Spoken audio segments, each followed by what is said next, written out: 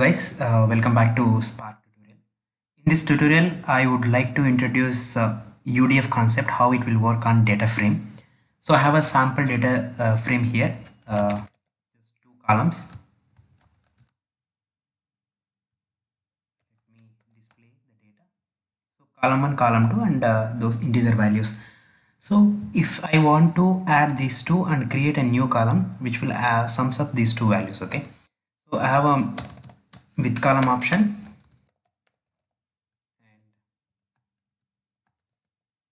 I will give the name of the column that I would like to create and then call one plus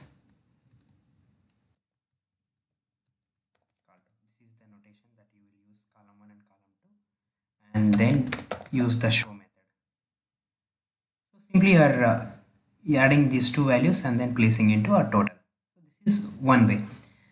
Uh, for the same operation, you can also define a user defined function and you can call from this with column uh, method and you can uh, derive uh, in a such a way dynamically you can call that function okay so for that let me create one function first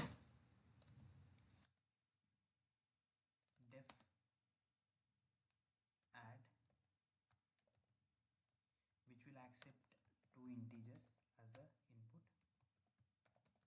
okay and returns integer a plus b. That's all. This is my simple function. And now in order to make it user defined function there is a syntax for this. Add function is equal to udf of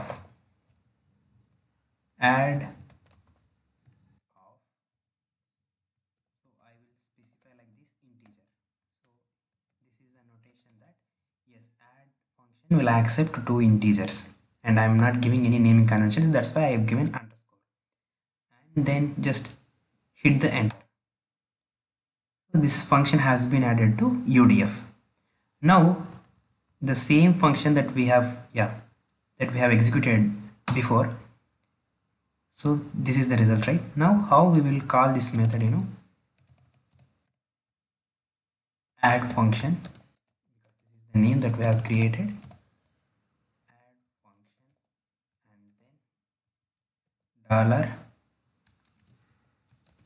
call one comma dollar